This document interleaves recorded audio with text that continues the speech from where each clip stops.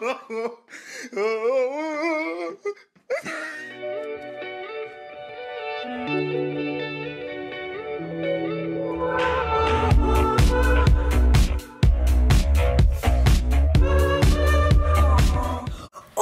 so hello everyone, and welcome to the first installment of the 6 and 60. This is the series where I highlight what happened in Toronto sports in the past week. Hence the name, I'll be going over everything in 60 seconds. So, firstly, the Leafs lost to their own Zamboni driver. 42 year old David Ayres suited up in aid of the injured tandem of Carolina and beat his own team.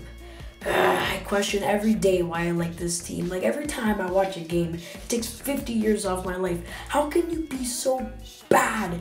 You can't even win against a beer league goalie. It must have been a childhood dream for him, especially since he got a kidney transplant in 2004. Moving on to the Raptors, they absolutely annihilated the Pacers getting their franchise record win and staying with the Raptors. They played the Bucks in a huge game which they needed to win to go in front of them. However, they lost and continuing with the Leafs, they won their very important game against the Panthers. Good on them. And it was the NHL trade deadline where the Leafs did absolutely nothing except trade for a load of AHL players and get Robin Lehner, which they can't even use.